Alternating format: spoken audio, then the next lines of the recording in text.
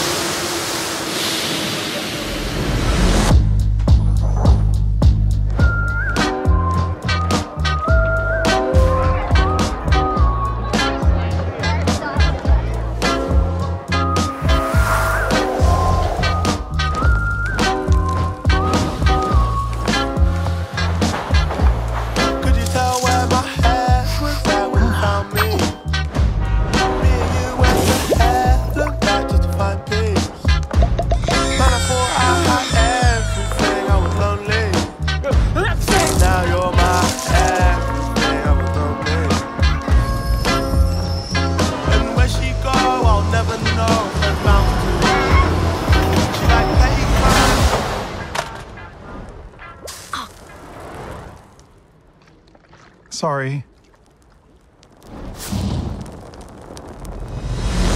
I'm Wade. I'm Ember.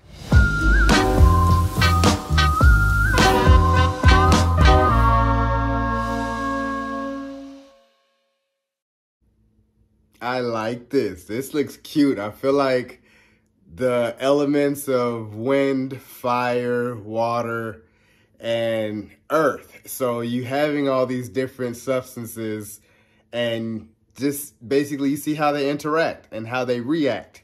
And I love that because that is a science aspect. I am a science major and the fact that this is going to be really, really cool. I want to know who's going to be the voice of Amber and Wade, but I could tell this is going to be fun. I love the, the just even the soundtrack. Just I'm like, okay, okay. I love the vibe. I love the vibe.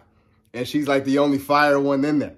Like you seen the you see you know as she walks by it's hot so the kids like the little kids in the pot just pop them start crying and because it's hot the water just sneezed and then it, it blew onto the earth's pot so the, the plant grew i'm like i love this so i want to see why she's the only fire when everyone else is wind you know, as they kind of sit up at the top, there's like wind, there's clouds, a lot of water, and earth, and she's the only fire. So I'm just like, where are the other ones? This is going to be fun. I really feel like this is going to be a, a really cute one. So, you guys enjoyed my reaction to Elemental teaser trailer. Subscribe to my channel. Post comment down below. Like the video. It's your boy, D Dice.